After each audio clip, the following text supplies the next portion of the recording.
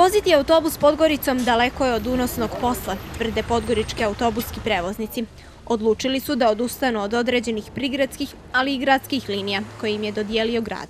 Vrlo nevoljno ovo radimo, ali da smo dovedeni do, tog, e, do takve situacije da su i gradske linije postale e, neprofitabilne. Troškove plata zaposlenih registracija autobusa, gorivo i kredite prevoznici ne mogu plaćati.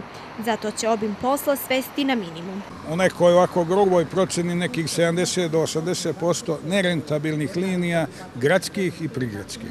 Najveći problem koji ih mori je divni prevoz. Od opštine traže pomoć. Stavka koju mi tražimo jeste da se nelegalan prevoz definitivno isključi da se tome stane na kraj.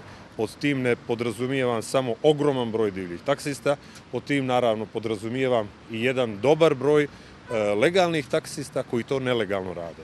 Znači, po zakonu je zabranjeno vršenje linijskog prevoza, to se vrši, znači mora se i tome stati na kraj. Na ovakav korak prevoznike su natjerali propali pregovori sa glavnim gradom o rješavanju problema divljeg prevoza.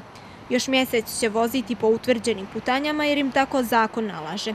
Ipak tvrde da građani zbog njihove odluke neće biti oštećeni. Ispoštovat ćemo naše putnike, reći ćemo im znači, sve ono što smo kupljene mjesečne karte do moći će da se voze naravno, da sve ćemo ispoštovati, ali i dalje ovako ne može.